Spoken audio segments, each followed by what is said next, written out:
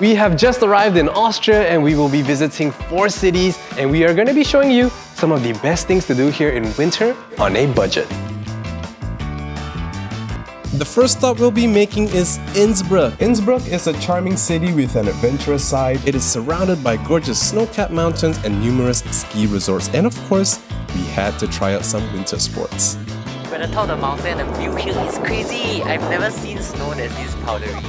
It's like a dream come true. I'm nervous, it looks so steep and there are people doing flips and stuff. So we spent the day snowboarding and falling on our butts, but overall we had a lot of fun and it was a solid 10 out of 10 experience.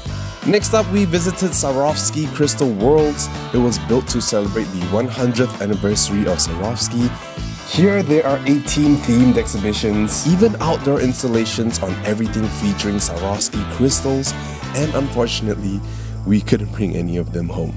Our next stop was to check out the home of Mozart, Red Bull, and the sound of music. Salzburg is a city that's bursting with culture, so start off in the old town. It is the town's main shopping street before heading around to the various iconic landmarks such as the Salzburg Cathedral, one of the city's most important religious buildings, the Mirabell Palace, a huge complex where Julie Andrews performed the song Do Re Mi in the old-time classic The Sound of Music, and the Hohensalzburg Fortress, Central Europe's biggest fully preserved castle. So we're now at the Salzburg Fortress. It's been around since the 11th century and it's very nice. It's a great view. It's 500 meters above sea level, so you can see the whole city of Salzburg.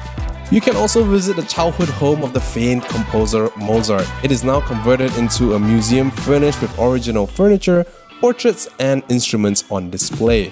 And right before leaving Salzburg, drop by Hangar 7. Here you'll find a collection of really cool Red Bull aircrafts and F1 cars on display. Next up, we are heading to Hallstatt. This iconic village is only 75 minutes from Salzburg. It's a small village of 750 residents, but millions of tourists flock here each year for its picture postcard views.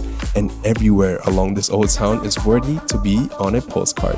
But for the best views, head to Hallstatt Skywalk. We just took the funicular up and went down the skywalk and the view is crazy. You can see the whole village here and the snowy mountains, the, the trees, the small cute little houses.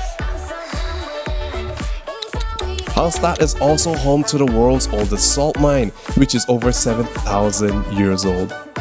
The salt mine tour includes hologram displays, wooden slides, and even a miner's train ride.